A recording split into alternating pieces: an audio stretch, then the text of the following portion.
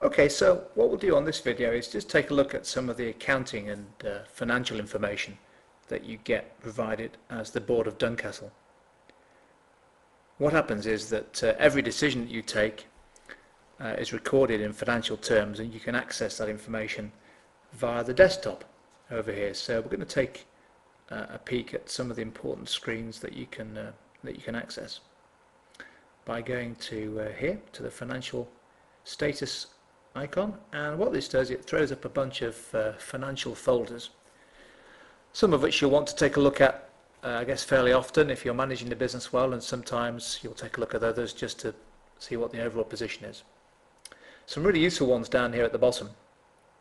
These actually give you some useful information about uh, gate receipts how many people are visiting uh, home matches uh, how much uh, revenue is coming into the into the business uh, you can get a good summary here of all the buy uh, players bought and sold uh, on transfers. And another really important one over here, let's take a look at this, this wage summary. This shows uh, the biggest cost in the business, which is uh, staff and player and manager wages going out of the business, what the weekly total is and what the total for the season is.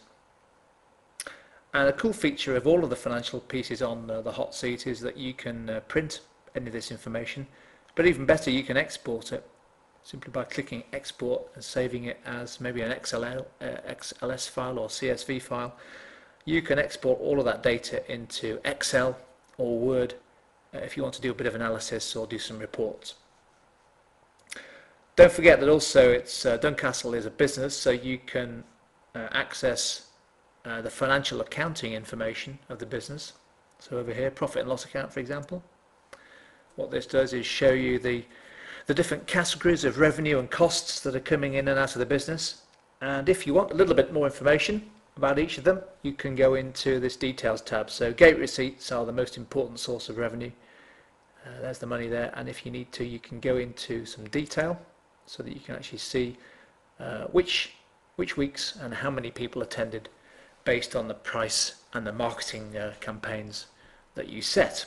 That's, uh, re that's really useful.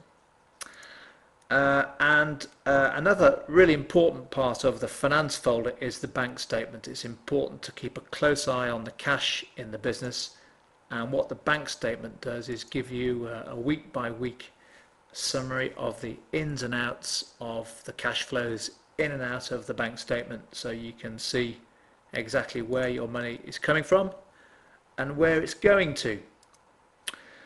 So yeah, Hot Seat, full of really good financial information. It's a great way of teaching uh, the basics of accounting and finance. And for those who want to play the game really well, I think it's an important part of uh, important part of managing the business properly.